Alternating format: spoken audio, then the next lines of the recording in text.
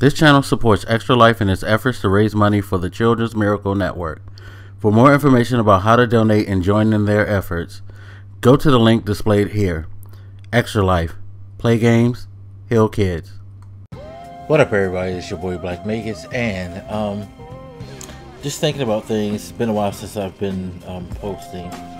Uh, well, a while being a week, which is good for me because I've been hesitant in putting up stuff, making excuses. And today I had an interesting conversation with someone about doing content, and it just dawned on me that I have continually put obstacles in my way um, not just when it comes to making content, but when it comes to life, period. And it's just, you know, ultimately, I came to the realization that, hey, you need to stop it. Like, you can make up so many excuses. Like, the conversation generally aired towards, like, in order to be able to produce stuff, we should get certain type of equipment, things that are, like, kind of, um, you know needed that may have access to already, but of a better quality. Now, I do definitely appreciate better quality when it comes to things, but um, I feel like, from my perspective, now, like because I used to do this too. I used to always say, "Well, I don't have certain such and such this. I don't have such and such that." I used to just like, yo, until I have ABC, I don't think I should be doing this. When you kind of do have ABC, it's just not at a certain level, like webcams, um, microphones, uh, you know, all types of stuff, software, you name it. Um, but I've forgot. I think out of like hesitance and fear of failure I tend to I tend to forget that a lot of people that I've seen, people that I know, especially who have gained success in doing podcasts and doing YouTube and doing Twitch and streaming, other content creating, they didn't start out with the best of best.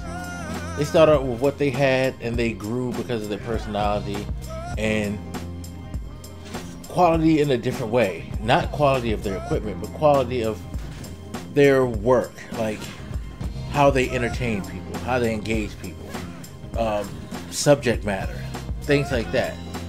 They caught people's attention and gained interest and continue to grow, grow to a point where they can start to profit from it. And as they started to profit, they started to improve themselves. And I feel like I've always been that person to always kind of say like if I don't have everything settled in place, it's not going to work. But as I like look at things now and at the point of my life that I'm in, I wasted way too much time just waiting for perfection. And the thing is, life isn't perfect. There's no such thing as a completely perfect scenario. It may feel perfect, but it's not going to be 100% perfect. And you have to accept the flaws. In fact, if you want to know what's perfect, perfection is the ability to be able to accept what you can and cannot do, what you have and do not have, and basically take the positives and negatives and appreciate the positives more than you do the negatives, or at least realize that the negatives aren't as scathing as you like to make them out to be. Like you find happiness in not necessarily settling, but in making peace with knowing that hey, nothing's going to be 100% perfect. There is not, you know, rarely do we see people get everything they want exactly how they want. Um, perfect mates, for example, you know, they're not perfect. They may be quote unquote perfect for you, but only because they're they, they're whatever shortcomings or whatever things that they have that may bother you aren't fucking you know as big as the positives. That's the thing. We find perfection in finding what, you know, finding that balance, I guess you could say, in life. Um, and we, you know, recognize the best of a situation.